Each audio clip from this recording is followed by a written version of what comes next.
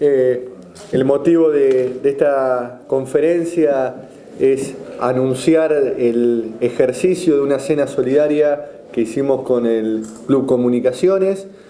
La modalidad de este municipio es trabajar con todos los clubes, con las áreas de salud eh, y, y, bueno, distintas cuestiones que la comunidad, instituciones nos vayan requiriendo, poder generar estos ámbitos que son las cenas solidarias donde el municipio colabora y contribuye con eh, los insumos que son necesarios para las cenas y las instituciones con las ventas de entrada recaudan los fondos necesarios para determinados objetivos. Nosotros lo que les pedimos a las instituciones es que eh, eh, nos digan con anticipación en qué van a utilizar el dinero y la verdad que, bueno, queremos felicitar a la gente del club porque eh, inmediatamente eh, lograron hacer una rendición en detalle de qué dinero ingresó, en qué se va a utilizar el dinero y la verdad que el trabajo conjunto con el eje en la solidaridad permite multiplicar los recursos del municipio del Estado.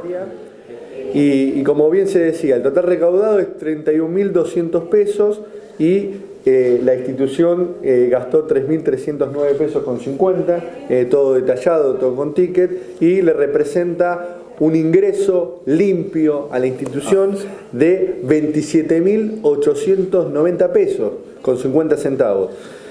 Lo importante de esto es, además de la transparencia en las cuentas, trabajando en conjunto con el club, y por lo cual uno lo felicita, que también el club dice y expresa claramente en qué va a invertir ese dinero. Esos 12 mil pesos para pagar la cuota de la Liga Mercedina, como todos los clubes de la primera y la tercera, y eh, para pagar el saldo de 6.800 pesos de dos juegos de camisetas, pantalones y medias para la primera y tercera división. Entonces,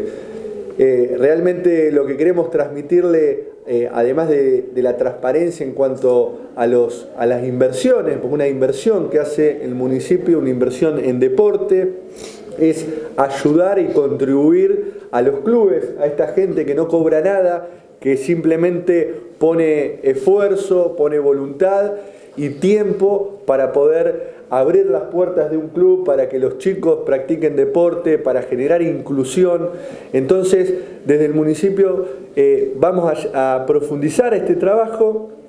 entendimos que es la mejor metodología de trabajar en conjunto, no simplemente entregar un subsidio y un cheque, eh, que también en este caso lo vamos a hacer, eh, que es para el alambrado del club, pero lo importante que queremos destacar y remarcar nosotros, y fundamentalmente para el vecino que, ve esto, que se acerque a todas las cenas solidarias, a todos los eventos solidarios, donde el municipio va a contribuir y vamos junto a las instituciones a rendir cuentas.